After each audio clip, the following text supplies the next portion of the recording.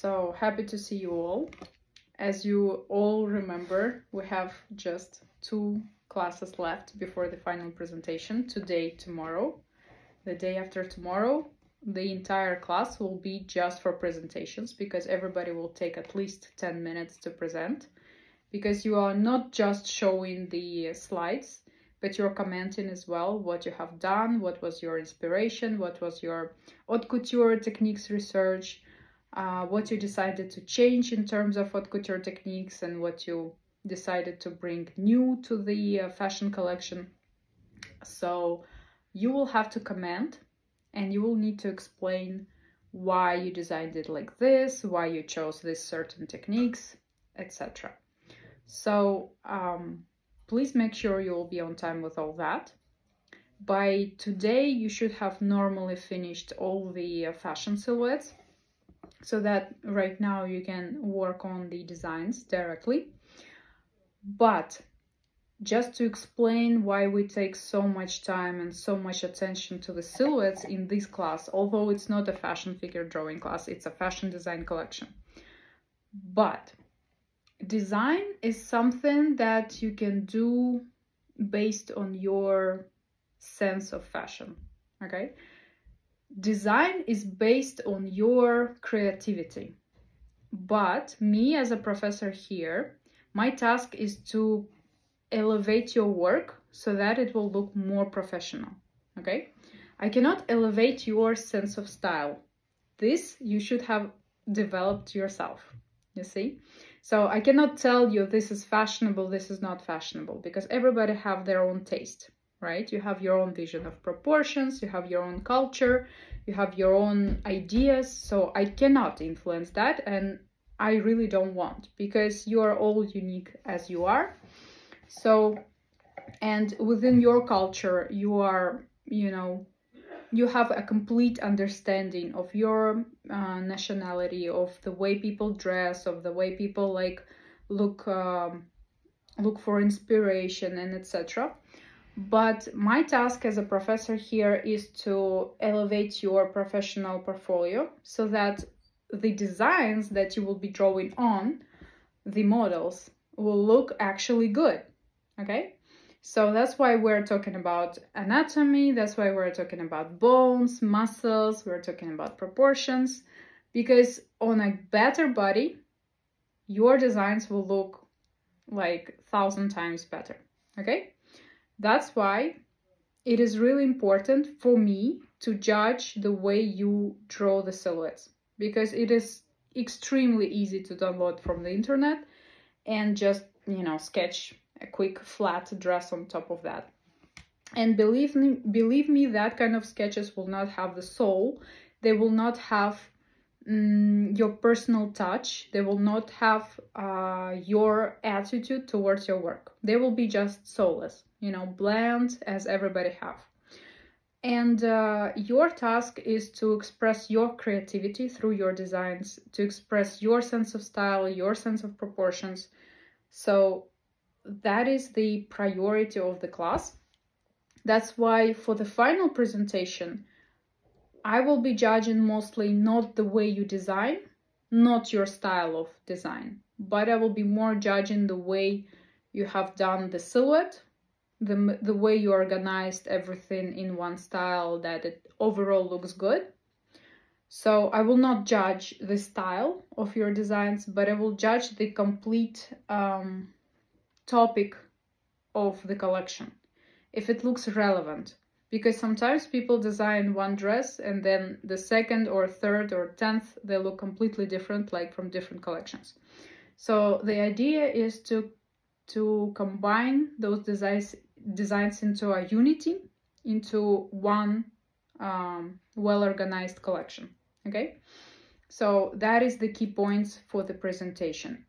So for the design part, you don't really need to uh, ask me, oh, should I move this flower to the right or to the left or make the short the skirts shorter or longer? This is up to you because right now you are showing me your creativity and your sense of style.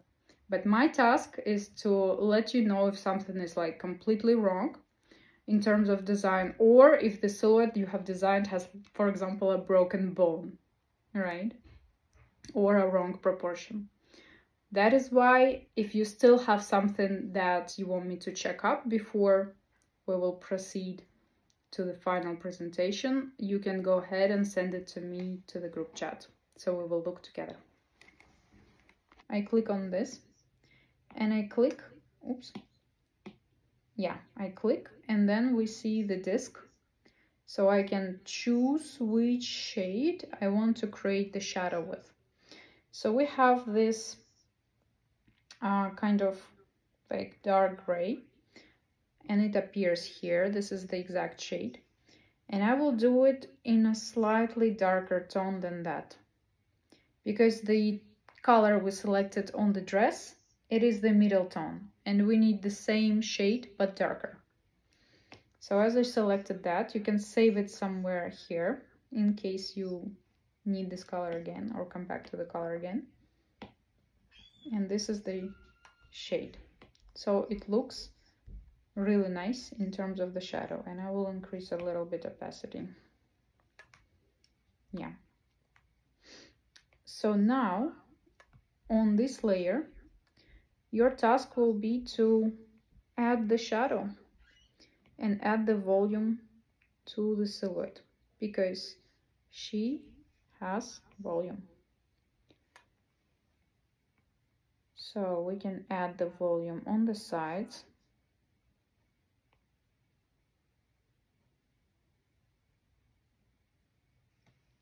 You see why opacity is important we if we will not use it in a transparent way we will just completely cover um, the texture that is why we need to use an opacity so on the waist it will be darker. And on the sides as well. Then we will need to create a shade under the knees. Because if the knees are bent, they will create extra shade below them.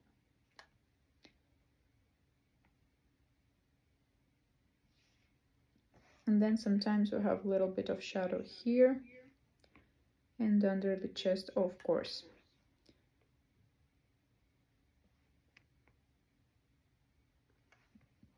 Then, if you think, for example, you did something too sharp you can always use the finger tool you see and you can um, go ahead and soften the areas where you think you did the shadow too strongly or too sharp then you can blend it in. And it will not uh, distort the uh, texture underneath.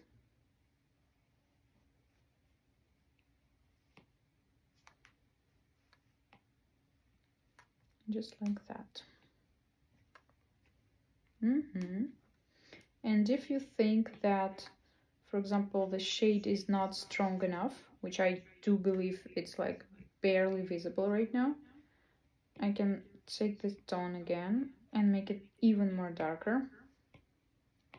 Still staying on the same layer.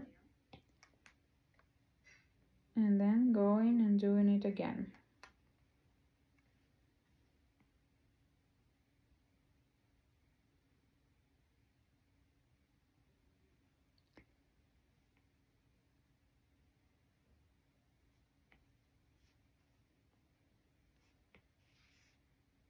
so adding the shadows. I would add some shadow here as well. Under the knees under the chest and the edges. Here. Because of the armpits and deltoids we will have a little shade. And actually under the chest. Here we will have a bit darker as well. So then you can take the finger tool and blend in.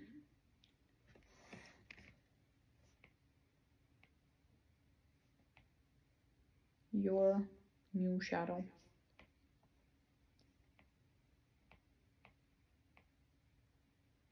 don't have to blend in everything perfectly. Somewhere could be more sharp, somewhere could be softer. Like this it will look more natural.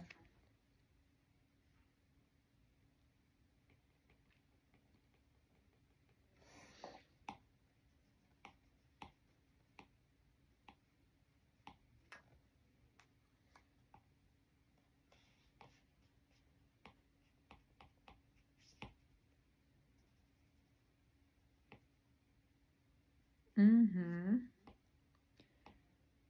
Here I will blend this in a bit better.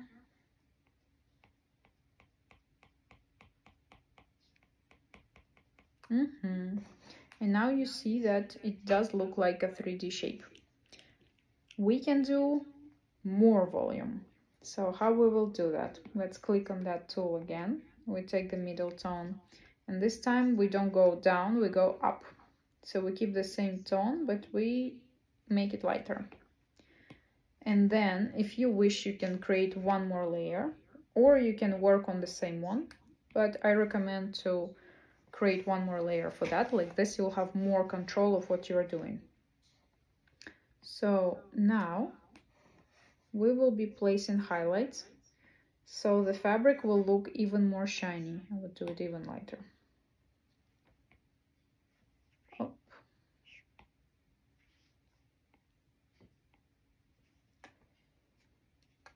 For example, I want the majority of light be from the right side. So the right side I can do slightly lighter than, than this side. So this side of the dress will be more highlighted.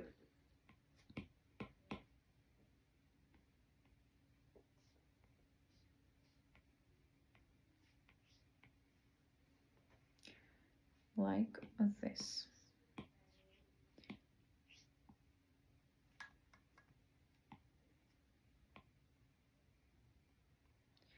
And then you take the finger tool and you blend it in again.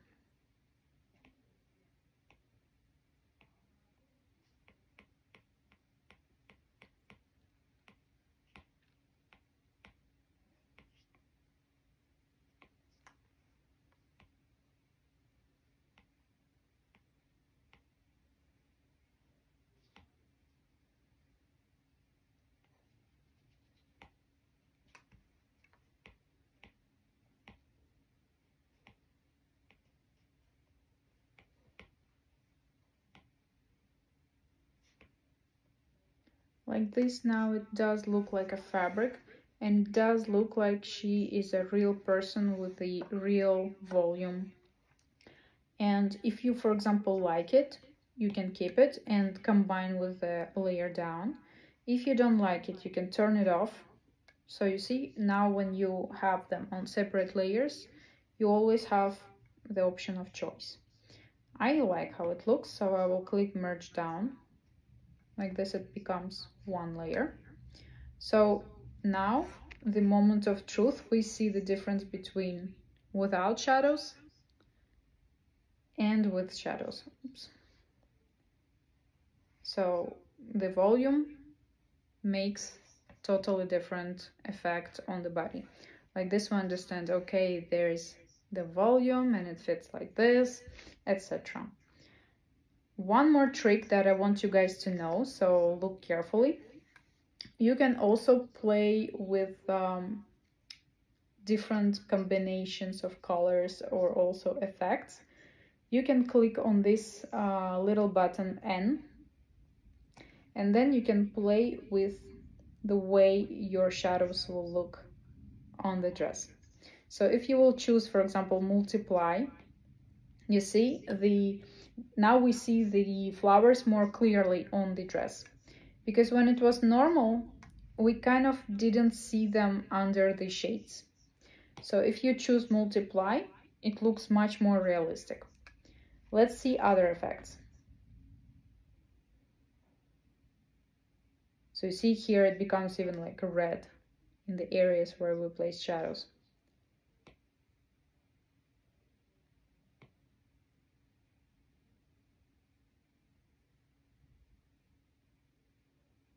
This one completely reversed the shadows. This one created something, something totally different.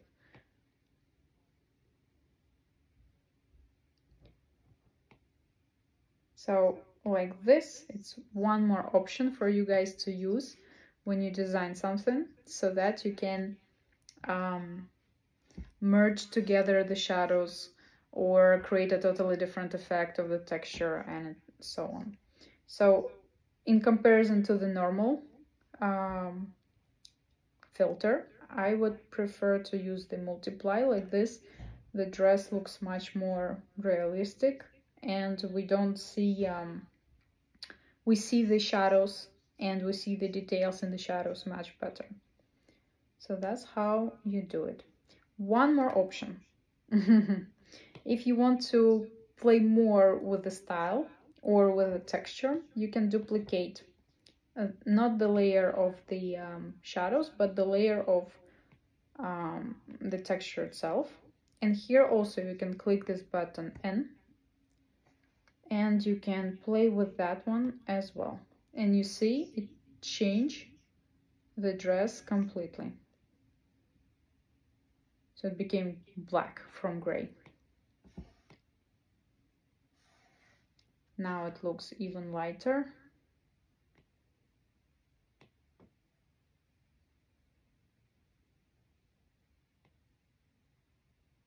Wow, creates such a cool effect.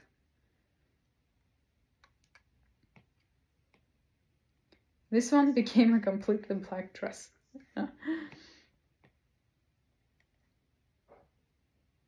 this one became white. So you see different kind of layers will create different kinds of effects. For example, I want to use this one. Um, you can either keep it like this or you can click on this uh, name of the filter again and then you can use the opacity. So under that you will see, if you will do zero opacity, you will see the previous layer that you were playing with. It is not going to be it's not going to change if you will use just one layer.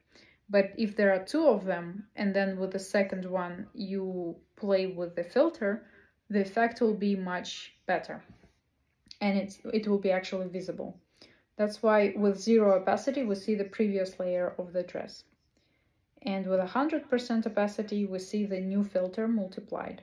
So you can either use 100% or you can do a a little, you know, setting in terms of how, how transparent you want the top layer to be. For example, I want it to be like this, 52%. And this we will merge down. So now we kind of glue together the two layers and it became one layer. Okay, so you see this is the shadow on top and this is the outlines. So that's how we design something with the textures, okay? I hope it was useful. Do you have question, guys?